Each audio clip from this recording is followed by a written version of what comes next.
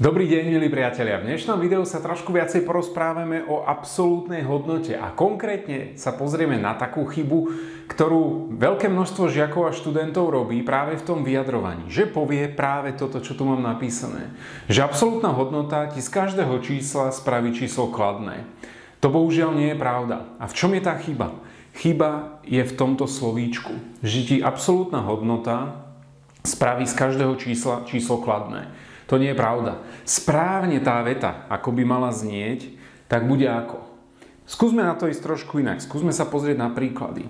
Keby som mal absolútnu hodnotu z čísla mínus 5, čiže absolútna hodnota zo záporného čísla, viem, že bude určite číslo kladné, čiže 5. Absolútna hodnota skladného čísla, čiže z čísla 5, bude predsa tiež 5.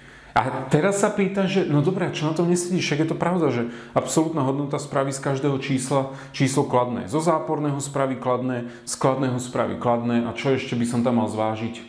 No to je práve tá nula. Keď si tu nula napíšem, absolútna hodnota z nuly, jasné, že je nula. A nula je aké číslo? Kladné či záporné? No nula je nula. Takže tá správna definícia, ako by mala znieť, je taká, že absolútna hodnota, inak povedané, keby sme ešte tú absolútnu hodnotu preskúmali, tak viem, že tá absolútna hodnota sa mi v podstate rovná vzdialenosti obrazu reálneho čísla od, na číselnej osi od nuly, hej, čiže vzdialenosť čísla mínus 5 od nuly, jasné, že je 5 dielikov vzdialenosť čísla 5 od nuly, jasné, že je tiež 5 dielikov vzdialenosť nuly od nuly je 0, to je jasné. Čiže absolútna hodnota spraví z každého čísla, čiže spraví z každého čísla, tu si vynecháme miesto a tu doplníme to slovíčko číslo. A aké slovíčko by sme tam mali doplniť? No kladné to nebude, pretože to je chyba. Ja vidím, že zo záporného spraví kladné, z kladného kladné a z nuly spraví nulu.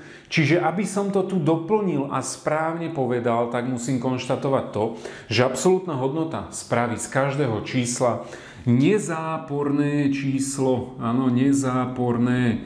Keď sa nad tým zamyslíš, tak nezáporné čísla sú aké? No to sú čísla kladné a nula. Inak povedané sú to čísla, ktoré nie sú záporné. Aké sú čísla, ktoré nie sú záporné? No predsa sú to čísla kladné, 5 a je to aj nula, pretože nula nie je ani kladné, ani záporné číslo. Takže nerob prosím tú chybu, že keď sa ťa pani učiteľka, pán učiteľ spýta, že e, stano, čo ti spraví absolútna hodnota z každého čísla? Pán učiteľ pohoda, absolútna hodnota mi spraví z každého čísla číslo kladné. On ti povie, stano, zle. Pretože absolútna hodnota ti spraví z každého čísla číslo, ktoré je nezáporné, čiže väčšie alebo rovné ako nula. Áno, keď máš nezáporný zostatok na účte, tak buď tam máš nula, alebo tam máš nejaké kladné číslo. Čiže nezáporné číslo je také číslo, ktoré je vždy väčšie alebo rovné ako nula a to ti z neho spraví určite absolútna hodnota. Ďakujem vám veľmi pekne za pozornosť. Pokiaľ sa ti toto video páčilo a dozvedel si sa tento nový poznatok, tak kľudne môžeš dať pod video like, potvrdiť odber, pridať sa k členom tohto YouTube kanálu. Teším sa na vás v ďalších videách, zatiaľ sa majte pekne. Ahoj!